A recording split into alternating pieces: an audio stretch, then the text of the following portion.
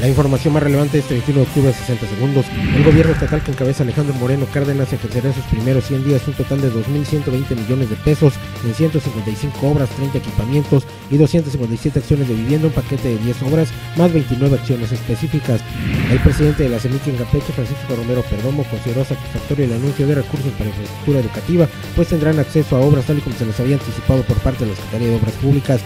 Inspectores del Ayuntamiento de Campeche, encabezados por el subdirector de ingresos Leonardo Talango García, iniciaron el retiro de ambulantes en la plaza ubicada frente a la clínica Wilber Escalante y el Hospital Manuel Campos, con la finalidad de dar a conocer los programas que maneja la Comisión Nacional del Agua y que se trabajan de manera coordinada con los ayuntamientos, se realizó la reunión entre directores de la Delegación Federal y representantes de los municipios. Con la participación de 60 jóvenes de todos los municipios inicia el concurso de debate político organizado por el INJUCAM con el respaldo del INE. Serán tres días de debates y los temas servirán de apoyo para políticas públicas. Más información en .campeche.com.mx.